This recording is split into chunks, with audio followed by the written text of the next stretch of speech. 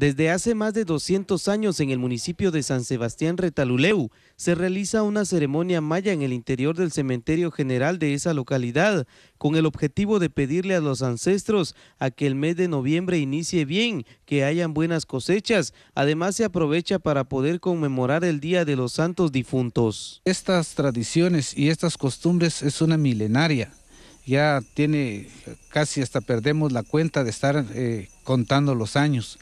Y por eso nosotros como herederos de esta cosmovisión maya, aunque nos duele bastante que hoy por hoy muchas religiones pues nos están avanzando. En estas tradiciones participan guías espirituales, sacerdotes mayas, feligreses católicos e integrantes de la cofradía del lugar. Pedimos la paz, la felicidad, de todo el pueblo de San Sebastián y, los demás, los hijos, va, que tengan buenos pensamientos, que no piensen cosas malas, va, porque está muy bien ahora, este tiempo hay muchas cosas que se miran en diferentes lugares, no solo aquí, pero gracias a Dios que aquí está un poquito más sano que en otros lugares. La ceremonia se desarrolla dentro del Camposanto y esto hace única la actividad, ya que también acuden pobladores y turistas a observarla. Los organizadores han dado a conocer que esto es parte de las costumbres y la cultura del municipio. Como indígenas nos congregamos en esta oportunidad